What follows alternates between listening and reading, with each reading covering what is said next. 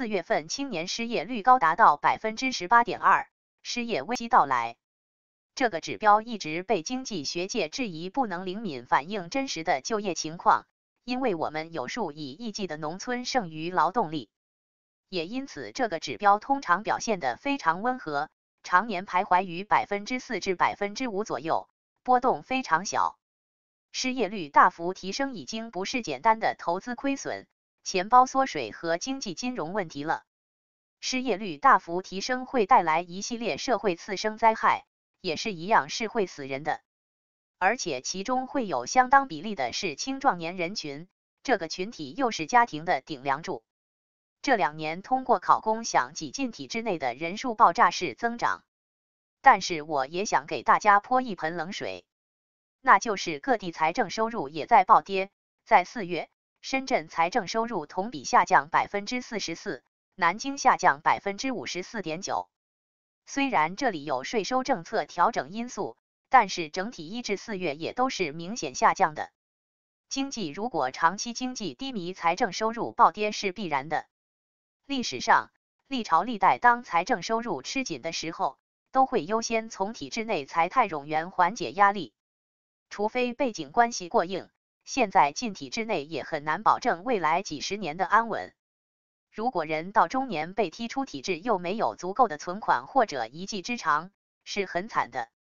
上世纪九十年代大批下岗的铁饭碗工人就是明证。四月份青年失业率高达百分之十八点二的报道，印证了今年在职场中发生的光怪离奇的事件。一开年竟然不用招人了，今年真的是很奇特的一年。自开始做 HR 起，没有一年的开年回来是不需要招聘工人的，一直要从年初八忙到三月，要为一年的人员做好储备。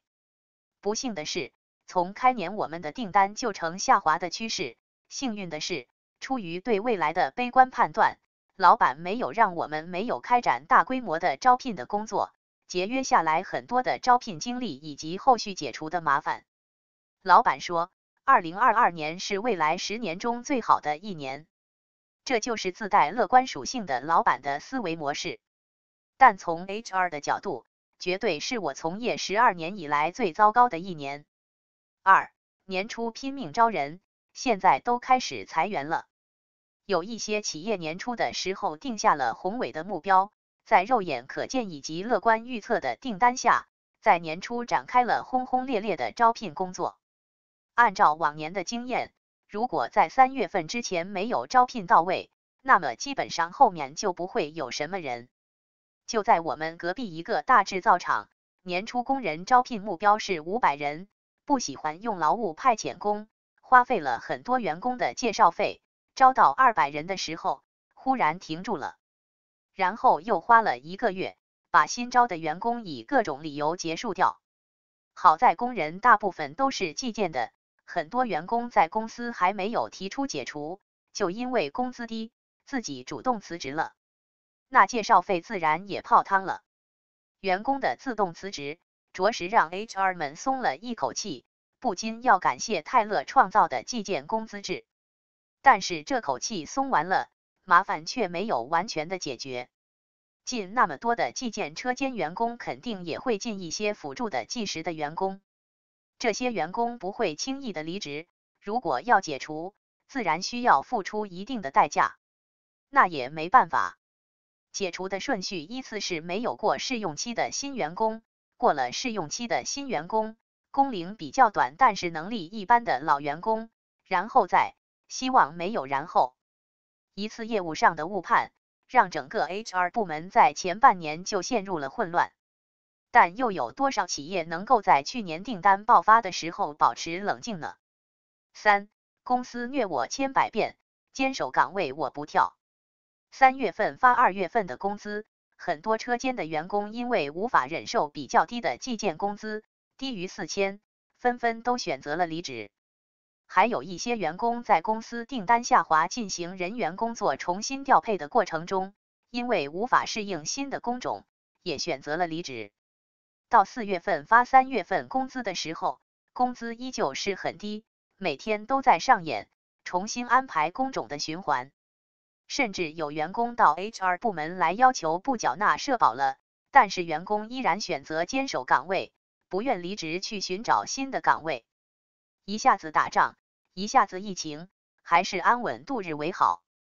人才市场上的流动人员也少得可怜，金三银四的招聘现象在今年也不复存在。往年在苏州、南京招个五年左右的研发工程师轻而易举，如今两个月过去了，还杳无音讯。对行业以及疫情的悲观判断，聪明的职场人都选择了留在原岗位。四跳槽的都后悔了。有一个同事涨薪百分之三十，跳槽了。刚好要到上海去工作，临出发前两天，上海封控了。